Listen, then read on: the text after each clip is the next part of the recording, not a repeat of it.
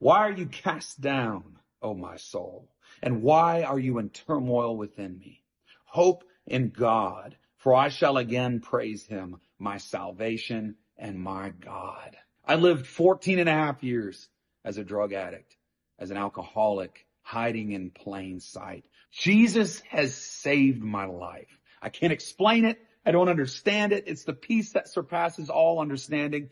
But I heard about who he was and what he had done for me, that he had died for me. And so I believed with all my heart and I confessed with my mouth that Jesus Christ is my Lord and Savior. Here I am, four and a half years sober, singing for Jesus Christ. The rest of my life, spreading the gospel. The misconception, however, is everything's fine now. My life is fixed. It's perfect. No, it isn't. Temptation is real. It comes like a thief in the night for me.